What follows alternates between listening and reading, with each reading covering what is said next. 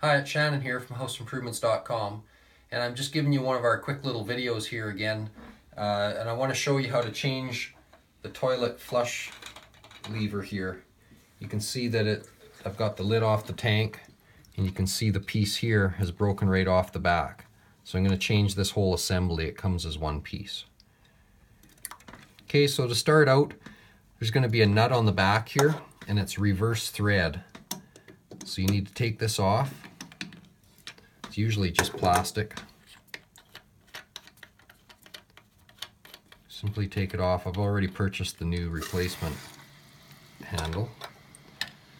So I, have got the new handle out of the package, so it should come like this. This may be plastic on yours, may not be. So you should basically have a nut and the handle with the arm all in, in it. It simply inserts here into the hole on your toilet the nut around this way. Remember it's it's a left-hand thread, so it's backwards from what you'd think it should be. Let's get it kind of finger snug. You could see, here I'll show you on the old one. You can see that there's kind of a square nut in this plastic part. That fits into the square hole on your tank. You'll see, you'll see what I mean when you get yours off of there.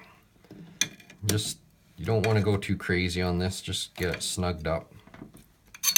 That should be good. And you can see in our case, our, our arm here is hitting on the tank. So I've got to give it a little tweak to get it over kind of in the right area that I want it.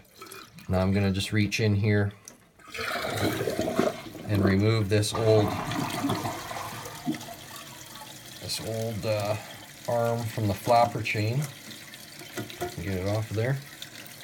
Okay, so there's my arm. This uh, arm comes with a few different holes to depend where you want to mount it.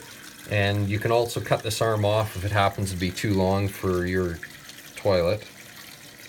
So I'm just going to try a hole here and see if it ends up working all right. And I would say that that's a little too tight. There should be a little more slack in this line. You can see how tight that is. So I'm going to take it off and move it to a lower hole.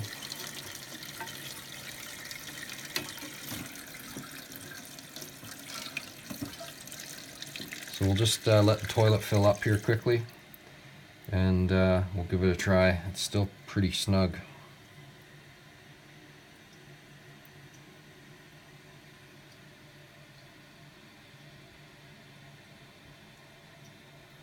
this was, uh, sometimes this will just be, it'll be metal, but it'll be more of a, like a piece of rod, and you can actually bend it downward as well. This one, because it's a flat piece of metal, it doesn't really bend in that direction.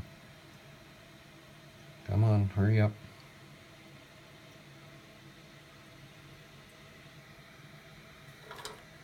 So it's pretty inexpensive uh, and easy thing to fix yourself.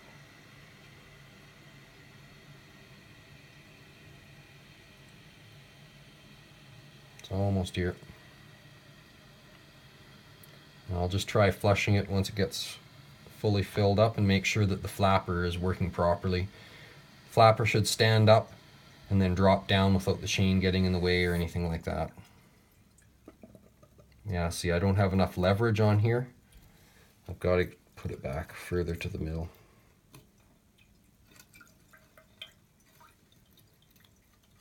Kind of forced it on here now.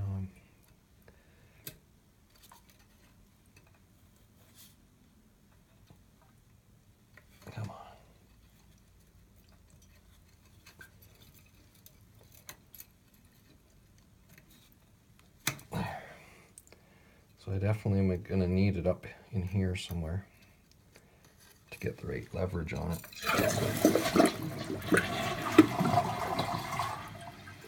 So that seems like it would be all right. There are some adjustments on the flapper as well you can see down here. So if I find that this is uh, taking a little bit too much to push the lever, I might be able to play with that a little bit as well. So okay, you can see how that is pretty easy. Might take a little MacGyvering here afterwards just to get it, uh, you know, functioning just perfectly, but pretty simple thing for you to do yourself. Thanks a lot for watching.